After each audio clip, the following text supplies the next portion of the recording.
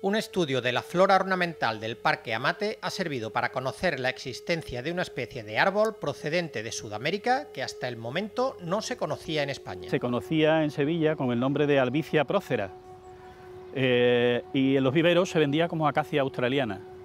Después resultó que comparándola con otras especies de, de albicias que hay aquí en el parque, las flores eran muy diferentes, las hojas también, y investigando sobre ella llegamos a la conclusión de que no se trataba de una planta del género Albicia, sino que pertenecía al género Acacia. El siguiente paso era identificar la especie concreta. No era sencillo porque hay más de 1.100 especies del género Acacias. Además, hay especies mal catalogadas como sucedía en Sevilla con este árbol. Al final descubrieron que era habitual en Argentina. Es Acacia visco, una especie bien conocida allí, pero que aquí era totalmente desconocida. Aquí estaba catalogada con el nombre de Albicia prócera y nadie sabía hasta ahora de qué se trataba realmente.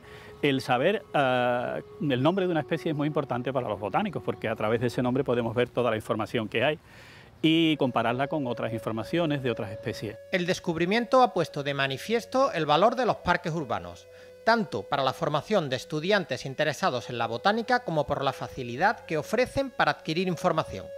Entonces, todas esas cosas, la interacción entre las plantas con el hombre es muy importante saberla en los parques. Puede haber plantas tóxicas, puede haber plantas que produzcan urticarias o que produzcan alergias, y si no sabemos las especies que son, no podemos saber cuáles son sus propiedades, porque todas las propiedades se averiguan a través de la bibliografía.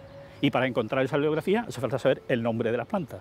De manera que el descubrimiento de Carlos Romero es útil por una doble vía.